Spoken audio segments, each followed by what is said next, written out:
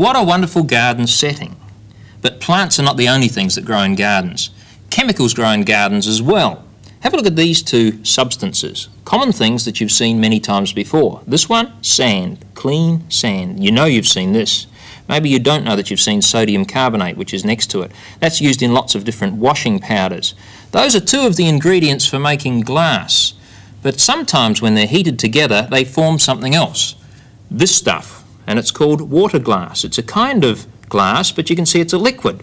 It's a syrupy, clear liquid, and it's in that that we're going to grow our chemical garden. What are we going to grow in it? I'm glad you asked. Not seeds nor seedlings, but we're going to grow chemicals. First of all, we'll need to do something with the water glass. I'm going to pour some of this into a, a clean jar uh, until it's about a third full. Sodium silicate used to be used quite a lot for preserving eggs. People would dip eggs in it and it would form a layer around them and prevent them from going bad. Now, about two-thirds water. So we've got water glass and water. We'll stir them around. You'll notice them mixing together. The water glass is actually dissolving in the water. Sometimes it's called soluble glass. There it is there. A nice solution of water glass in water. Now, here are the chemicals that we're going to grow in the water glass.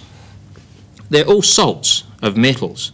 And the first one is a salt of iron, and then a salt of copper, a salt of manganese, a salt of nickel, and a salt of cobalt.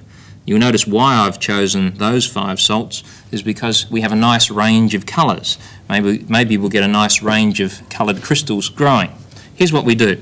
We take some of each of them. We'll start with the salts of iron and I'll drop some crystals into the water glass.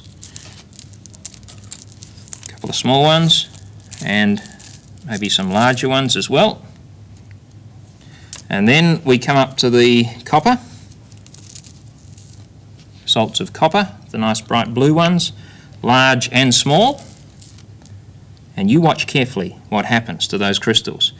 And we come to the next one, manganese, this nice pink colour. And we drop a few crystals of manganese salts into our little garden. Now some of the salts are floating on the top, so I'll poke them with the stirring rod and make them sink to the bottom. And that brings us to the next one, which is nickel and we'll pick up some crystals of nickel, some large, some small, and drop those in there, the nice bright green ones.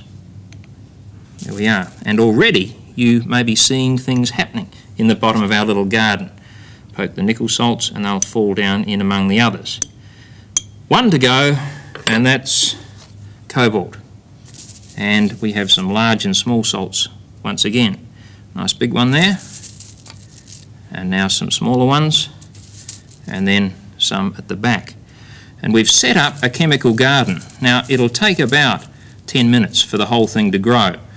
This is not the sort of thing that you can do at home. The salts that I'm using are very poisonous. But you should be able to talk your teacher at school into getting hold of these chemicals and getting some water glass and setting it up for the whole class to watch. There it is there. We're going to watch it for about the next 10 minutes and see what happens to the little things that grow in our chemical garden.